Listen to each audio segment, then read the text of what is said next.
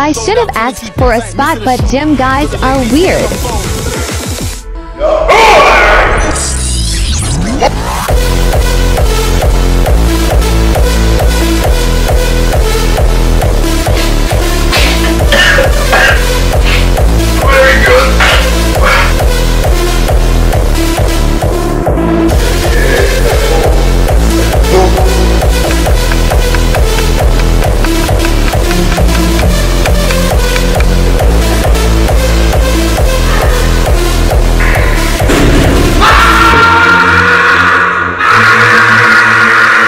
Uh, getting the feeling of coming in the gym. I'm getting the feeling of coming at home. I'm getting the feeling of coming backstage when I pump up.